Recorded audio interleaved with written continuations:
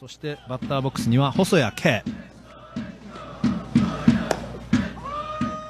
ボールフォアボールとヒットを許してノーアウト満塁というピンチを招いたんですがなんとかその大ピンチを切り抜けました。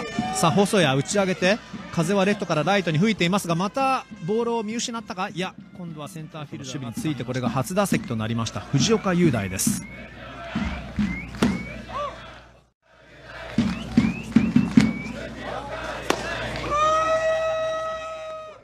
してトヨタ自動車を経てロッテに入団しました。非常に肩の強いそしてスピードのあるこの藤岡雄大。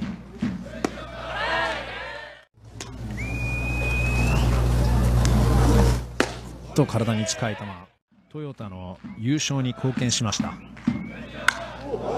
まく、えーライオンズのショートストップの源田なんかもね社会人上がり。ワンアウトランナー一塁。昨年はプロ初ホームラン。一軍初ワンアウトランナー一塁で振ってくるか。